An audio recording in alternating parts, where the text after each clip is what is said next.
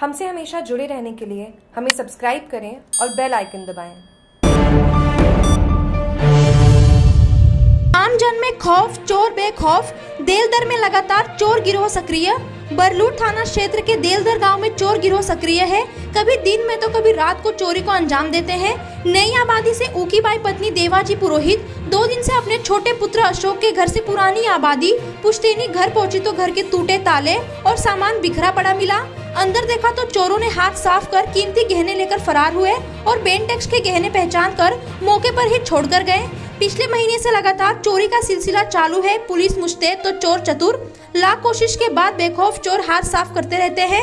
ग्रामीण और पुलिस मुख्य श्रवक बन गए हैं, ऐसे घटनाओं की खबर बाद में मिलती रहती है। इससे पहले सुथार, जैन और जैन समाज के धर्मशाला के दर्जनों घरों के ताले आलमीरा तोड़कर कीमती बर्तन तक उठा लेके गए। दर्जनों घरों के ताले टूटे, फिर भी चोर पुलिस के गिरफ्त से बाहर। पुलिस गश्त लगाती है, मगर चोर चतुराई से चोरी कर कीमती गहने व बर्तन, बूस्टर आदि चुरा कर फरार हो जाते हैं। मज़े की बात तो ये है कि महीने भर से एक भी चोर पकड़ा नहीं गया है। जागरूक टीवी के देल दर से चौथमा सुरयाल की रिपोर्ट।